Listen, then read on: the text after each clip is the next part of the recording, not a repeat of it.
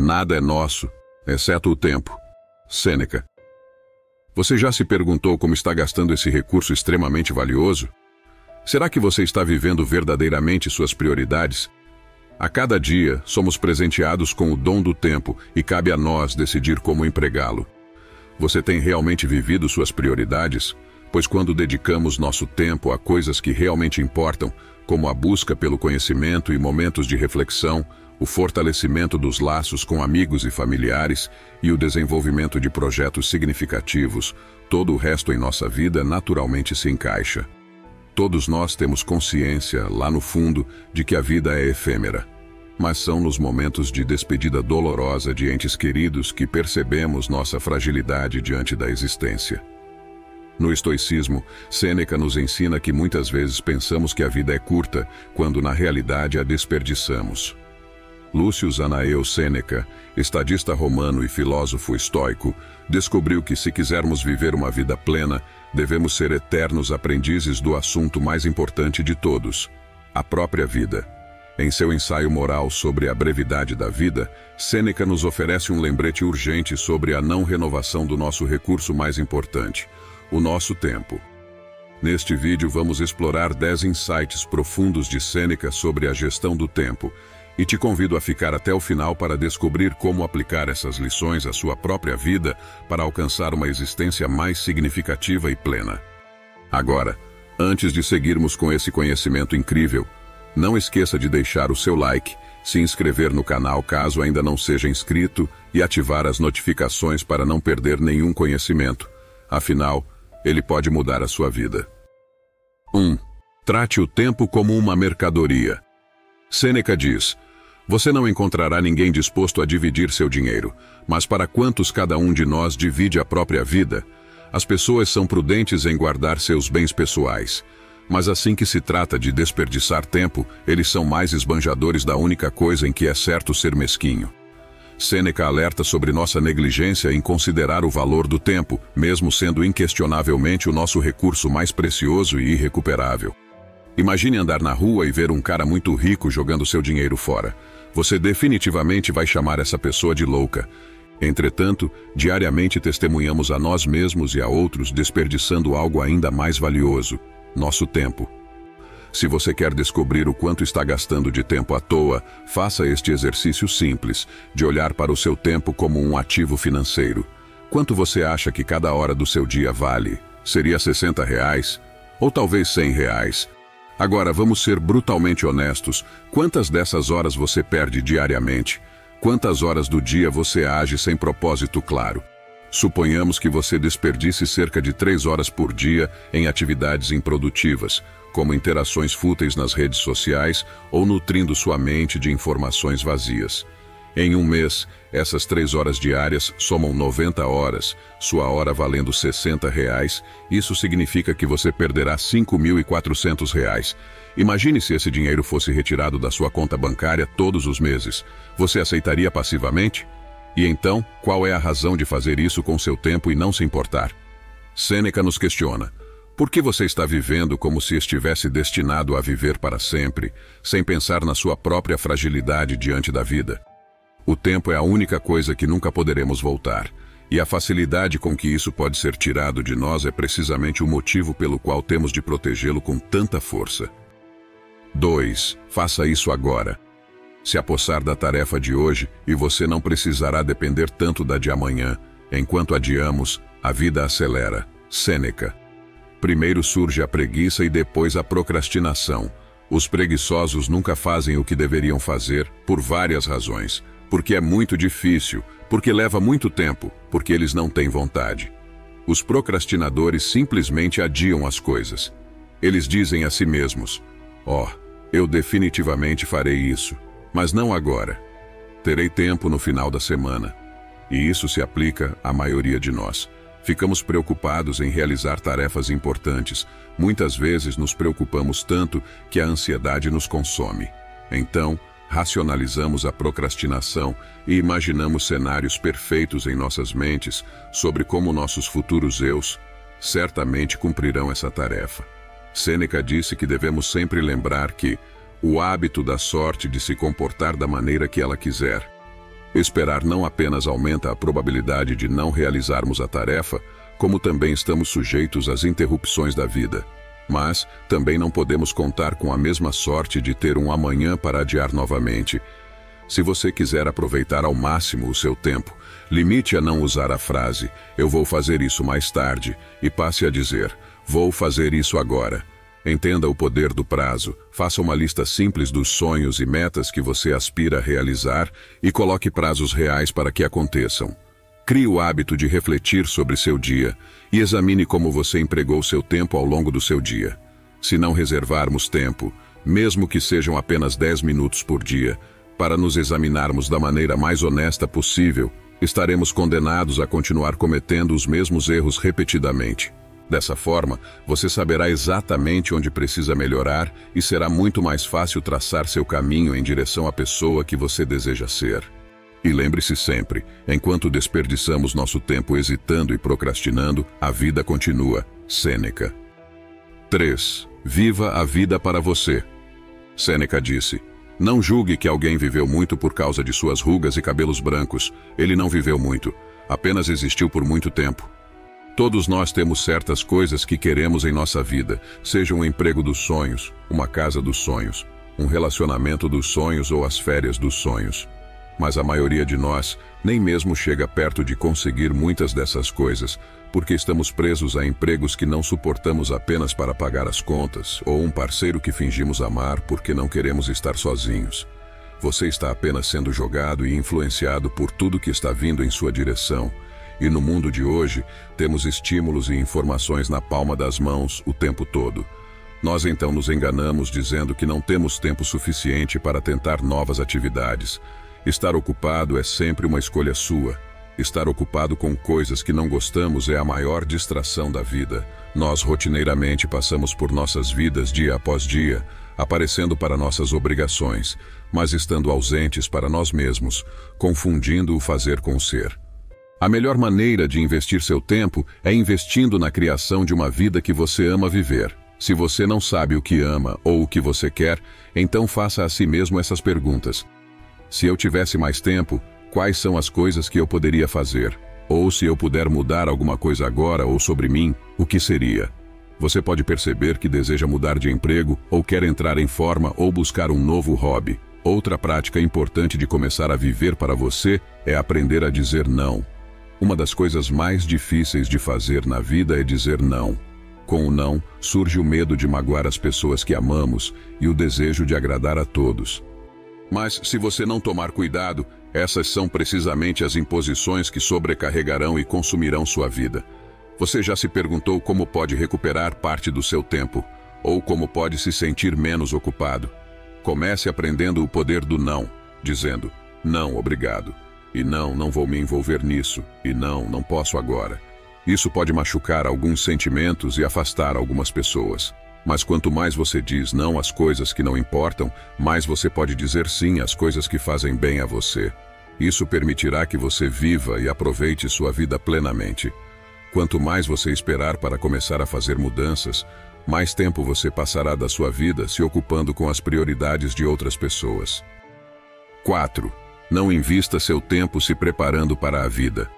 De acordo com Sêneca, Aquele que dedica todo o seu tempo às suas próprias necessidades, que planeja cada dia como se fosse o último, não anseia nem teme o amanhã. Somos todos culpados de gastar muito do nosso tempo nos preparando para a vida. Sêneca nos impulsiona a viver o agora. Não atrase sua felicidade. Não pense que sua felicidade está no futuro. Ele critica aqueles que pensam que podem trabalhar diligentemente até por volta dos 60 anos, quando finalmente se aposentar e poderá ser feliz. Nosso futuro é incerto e não está sob seu controle. A vida futura pela qual você está trabalhando pode nunca chegar. Estamos tão ocupados e preocupados com o futuro que muitas vezes deixamos o presente escapar, permitindo que o tempo passe despercebido e sem controle. E então, quando estamos velhos e em nossos leitos de morte, finalmente percebemos como a vida é curta e valiosa. Fica o arrependimento de não tê-la aproveitado ao máximo quando podíamos. Para comprovarmos isso, basta lermos obituários.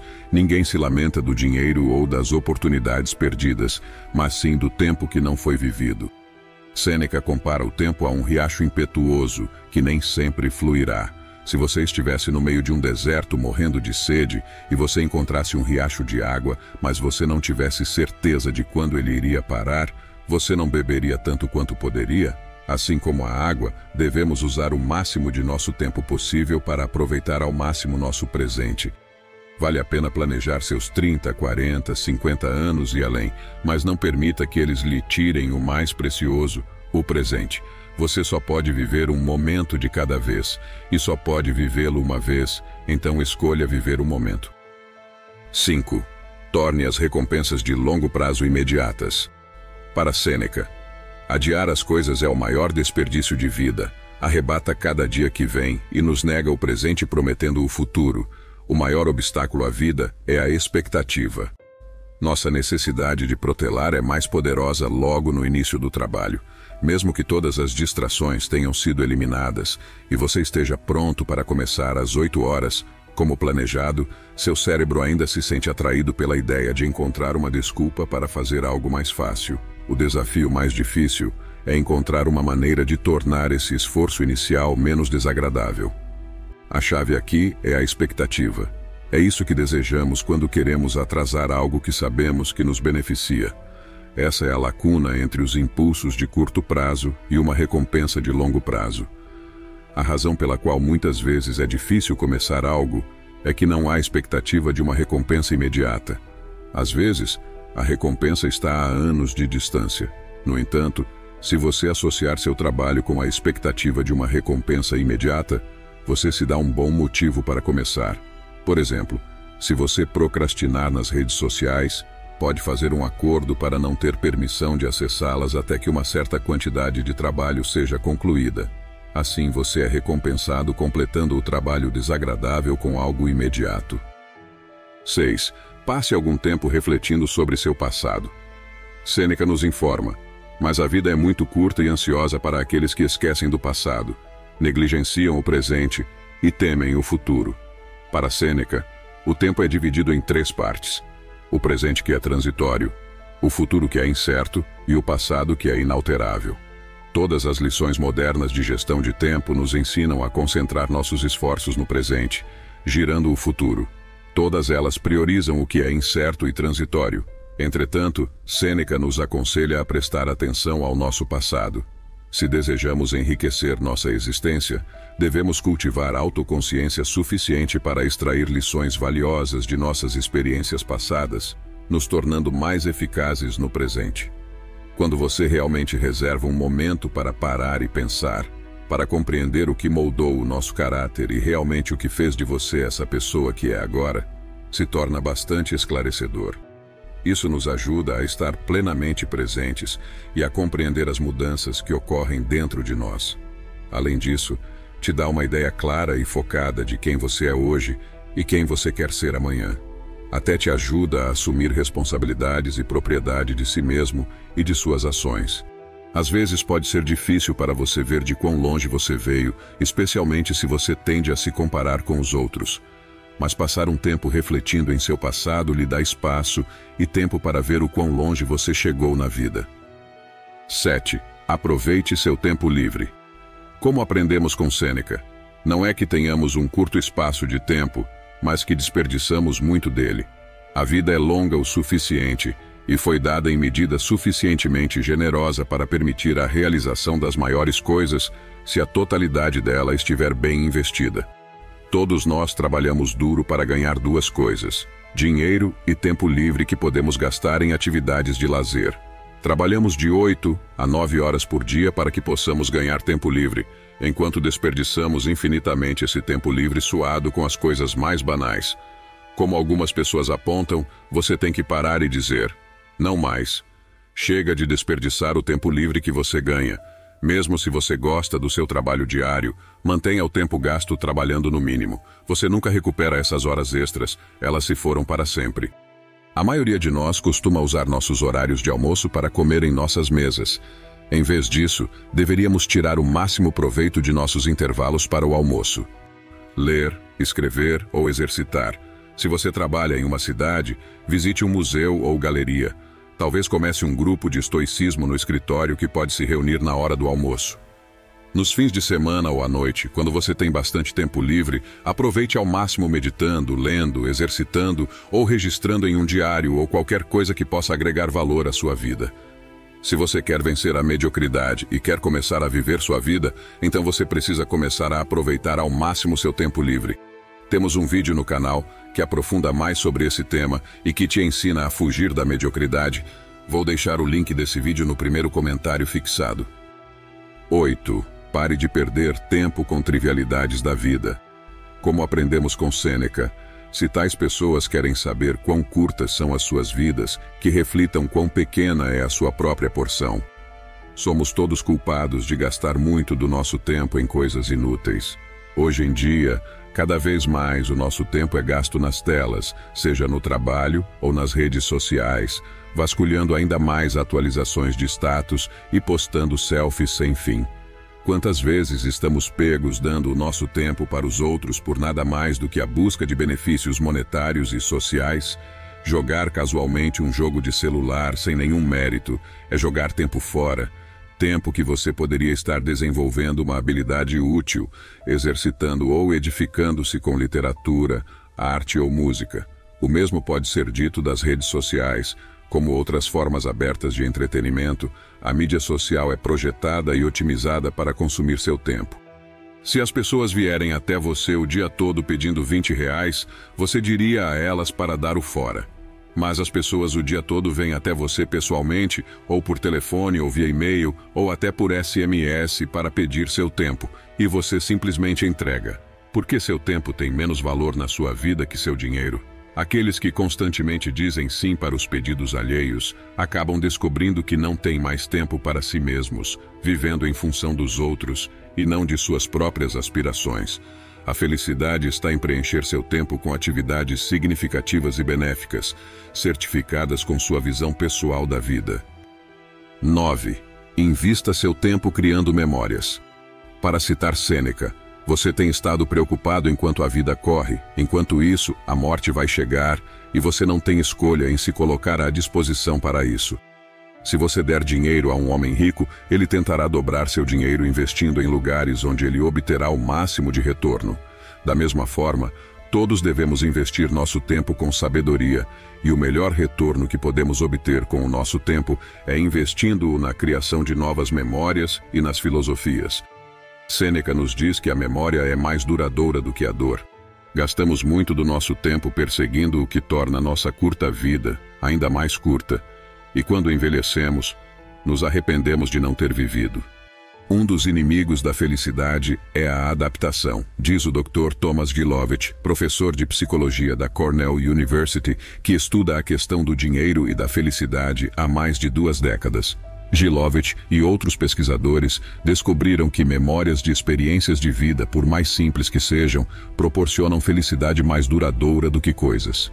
Memórias guiam nossos pensamentos, ações e decisões. Elas moldam quem somos. Você pode começar a criar novas memórias assumindo novos desafios, passando tempo com pessoas que você ama, viajando, buscando novas oportunidades. Comprar um celular incrível não vai mudar quem você é mas fazer uma pausa no trabalho para fazer uma viagem dos sonhos certamente o fará. Não somos nossas posses, mas somos o acúmulo de tudo o que vimos, as coisas que fizemos e os lugares onde estivemos. 10. Invista seu tempo em filosofias. Em nosso último pedaço de sabedoria de Sêneca neste vídeo, aprendemos que, de todas as pessoas, apenas aquelas que estão no lazer reservam tempo para a filosofia, só aqueles que estão realmente vivos, pois eles não apenas vigiam bem suas próprias vidas, mas anexam todas as idades às suas. Todos os anos que se passaram antes deles são adicionados aos seus próprios. Sêneca aponta o estudo da filosofia como a única ocupação valiosa da mente e do espírito, um professor inestimável que nos ajuda a aprender como habitar a nós mesmos plenamente neste breve e transitório período de existência e expande nossas vidas curtas de lado para que possamos viver amplamente em vez de viver muito. Filósofo significa amante da sabedoria. A filosofia é o estudo da verdade, da virtude, da vida e da morte. Nada neste mundo é permanente, exceto a verdade. O filósofo sempre busca descobrir a verdade sobre como é este mundo e qual é o nosso papel dentro dele. Comece por livros e vídeos da filosofia estoica.